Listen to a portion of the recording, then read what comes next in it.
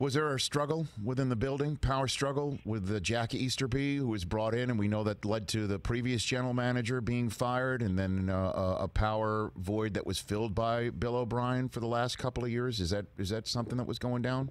Too, John? Bill O'Brien, Bill O'Brien final say on all personnel decisions.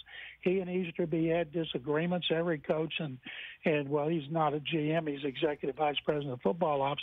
Had disagreements, but did usually I was asked if they had a falling out. If you have a falling out, to me, you don't work together. And that's the way it was with Bill O'Brien and Rick Smith. In this case, they worked together. They had disagreements. They had arguments. Everybody has an argument with Bill, who has a bad temper and explosive personality. But Bill O'Brien had final say on every big decision. Nobody else.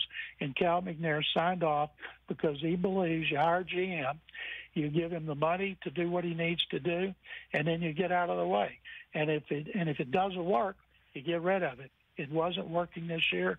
They got rid of it. What's the one thing if Bill O'Brien could wave a wand, do you think he would change today? Other than just I think he would go back to the Kansas City game in which they just choked that 24-0 lead. He would not call the fake punt on fourth down at on his 31 yard line, which backfired, led to an easy touchdown. It was the worst call of his career. Well, I mean, and then the fake punt that that uh, that that uh, succeeded it as well. That gave a short field to, to to Kansas City. I mean, if you're saying that fourth down call that he thought they had made it a first down, and then when he found out it was fourth, decided just you know in the heat of the moment to kick it, and that led to you know the comeback. Uh, I guess that that sparked the comeback. Pouring gasoline on the fire was the the fake punt that that came after that. But these are all X's and O's decisions.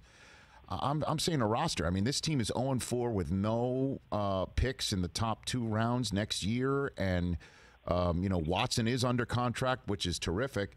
I, I just keep returning to DeAndre Hopkins. And I know that we live in a fantasy football world and we look at football players and fantasy terms and same thing with trades. I, I, that one is still the ultimate head scratcher. If you've got a guy in Watson that you know you're going to pay and you know he's your guy of the future and you know you've got somebody of DeAndre Hopkins status at the age of 27 how in the world do you do what he did? How does that happen? How does how does the owner sign on that? that contract with 3 years left on it.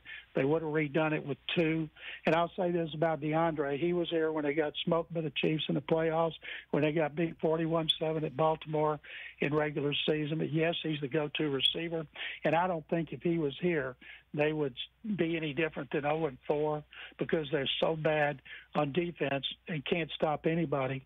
But he may have made the scores closer, but I don't think he would have made a difference in an 0 4 record.